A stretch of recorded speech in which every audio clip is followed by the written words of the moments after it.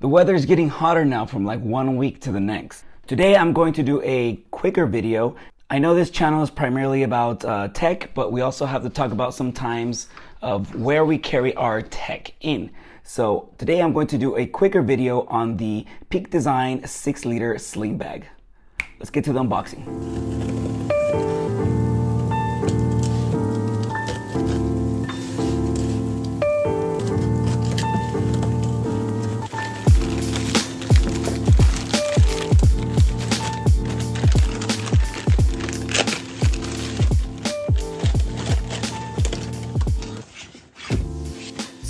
The Peak Design 6 liter bag comes in three different color options. There is the ash gray, which I have here, the midnight blue, and a black color. You can pick this up on Amazon for $99. Yep, 99 bucks. It is definitely not a budget bag.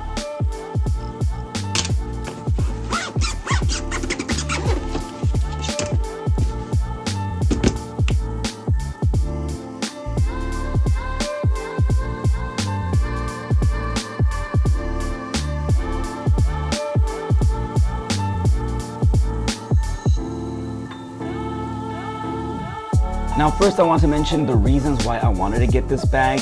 I needed an everyday bag to carry around my camera. Um, I do street photography as a hobby, so I usually carry a bigger backpack or a bigger uh, messenger bag, and I needed something smaller. I wanted to condense my, my everyday carry and have a smaller bag. Now, first, I was looking at the three liter bag, the, the Peak Design three liter sling bag, but I wasn't sure if it was going to be too small. I ended up going with the six and I'm glad I did. I guess one of the main things I want to get across in this video is that I believe that the six liter bag is prob- probably the perfect size, just like the, the perfect sweet spot for most people. Let me show you why. So here's the bag. And in this video, I'm going to try to show you how much we can actually fit inside this bag and why I think if I would have gotten the three liter bag, it would have been just way too small.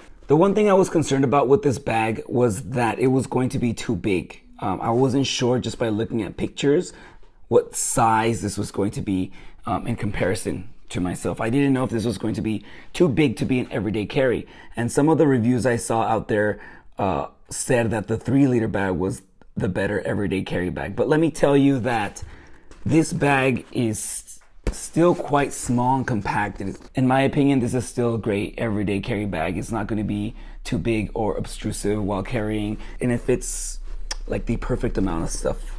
I think. So let's try to see what we can fit inside, okay? Let's do a quick overview of the bag first. So overall, the build quality is what you would expect from Peak Design. It's top notch and I have no complaints there. There was a couple places, if you are nitpicky like that, there's a couple places where the stitching does show a little bit of loose strings. A couple places, I can't even find them now. So there is this front pocket here. The zippers are very nice. I just closed it. There's this front pocket here. You can put like a phone or something in there. That's the front pocket. And the only other pocket is this main compartment. The zippers are buttery smooth. They're not YKK. They're their own Peak Design zippers, but they are very good. So this is just the front pocket, and let's take a look inside. So inside the six liter, we have this front little pocket here. And this is usually where I carry extra batteries. So I have a GoPro battery here. I forgot to take out a couple GoPro batteries. So it almost has these little slots that are specifically made for things like batteries. You see that? My camera batteries fit in here as well. Now inside you have these compartments. You have one, two, three, and it comes with two of these Peak Design origami style dividers here. Let me show you these for for a second. These are pretty cool. So the Velcro on these is different than normal Velcro. I don't know how to explain it. It's it's a slight different. It's it's stronger. I will say it is stronger and not as I guess annoying as other velcros are where it leaves little fuzzy stuff after you unstick it. This is like a different style of Velcro. Works really well. And the purpose of these origami divider things is that you can fold them up and set the inside of the bag to your liking. So you can fold both sides of these fold here. So that way you're able to put, let's say, one lens down here, another lens up here, or something down here, charger and your phone up here, whatever you want. You can leave one in there or you can use both of these. Okay, so the inside has these extra little pockets right here. They're, they're part of this elastic that keeps things from falling off, even though this is zipped all the way down. And they managed to divide it here to add another little small pocket with whatever you want to throw in there. Maybe some sunglasses, some pens, or uh, an extra battery, uh, ND filter for your camera, or something like that. And then the back, this is where they have their tablet compartment, I guess. It's supposed to fit a tablet, but I'll show you right now how that looks like. They have this little magnet, but if you're using a tablet, if you're going to put a tablet in here, this little magnet is pretty much useless. Now, these little elastic bands that hold the back portion of it, you can also fit the Apple Pencil in there. It kind of fits in there perfectly. I'll show you that later. Okay, so let me show you what I usually put in this bag. Okay, I do use both dividers and I use them like this. The first thing that goes in there is this Fujifilm X-T20.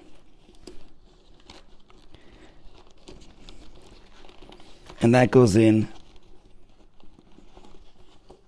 just like that. So we got the Fujifilm X-T20. Now, here's a 50, 50 millimeter prime lens. Fold that down. And here goes in the 35. Okay, so already that takes up both of these compartment compartments. You can squeeze and put other things on top of here. You can probably put some AirPods in here or some other wireless headphones. You can squeeze in a charger, but I like to kind of have my things easy to get and separated. I don't like it to be very cluttered. Now the other thing that fits in here is the GoPro. So I can actually put my GoPro right in here. There you go. Let's say I'm carrying a microphone. The microphone goes in here. Extra batteries goes in there. And then you're saying, what about the tablet? So this is the thing. When you have these dividers and you're putting in your stuff here, if you're going to try to put in the tablet, it says the 11 inch iPad Pro. If you're going to try to put in a tablet, it will squeeze in there but what this does, there you go. It will squeeze in there. Just like that. Now the tablet's in there. You can't get the tablet out probably without getting anything else. And the zippers now won't really close. You see that? It makes the bag more bulky. So if I'm carrying the tablet in there, I'm not carrying all of this gear with it. And if I'm carrying all of this gear, I'm not going to get carry the tablet. Now without the tablet, it'll close up. Okay?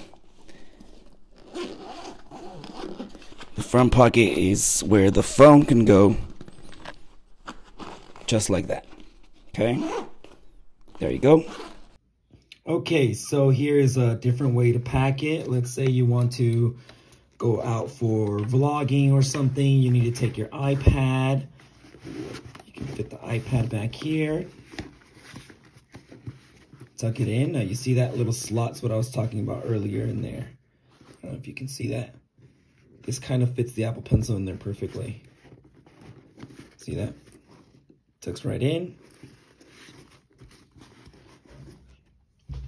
Now you want to take your smartphone gimbal that's the DJI OM4. And then let's say you want to take, uh, have to have your phone, wireless headphones, let's take a tripod, maybe some snacks, And then uh, I don't have it with me now, but you can have a charger here. I'm sure the charger fits perfectly fine. And you are set to go. So that's one way of doing it. let's say you're just uh, going out for the day. You put your phone, snacks. Fits the Bose speaker in there just as well. So there's there's many many um, useful ways you can pack this, but I suggest not overstuffing it because then it feels uncomfortable, and that's why I recommend this six liter. I'm sure some of this stuff would fit in the three liter, but it would be very very very compact. Now find this bag works much better as an everyday carry when I am purposely using it for street photography only and I'm minimizing my gear. So for example, my lens here is the 27 millimeter. It is much, much smaller and I can easily squeeze this in right here. And it's easy to pull in and out. I can still have my other divider. Take the 35 if I want. Fold this down take headphones, microphone, whatever you want. And if I'm not trying to shoot anything with the GoPro, I won't take that. And I use this spot here to put in a water bottle. So just a, a regular uh, water bottle will fit in here. You can take that water bottle. You can put chargers. You can put uh, extra thing, the extra things you may need. Uh, you can take some snacks for while you're out uh, shooting. And this is actually a perfect size for minimal gear. It's it makes it smaller and compact. And this size, you can fit your tablet in here, and it'll close with just this.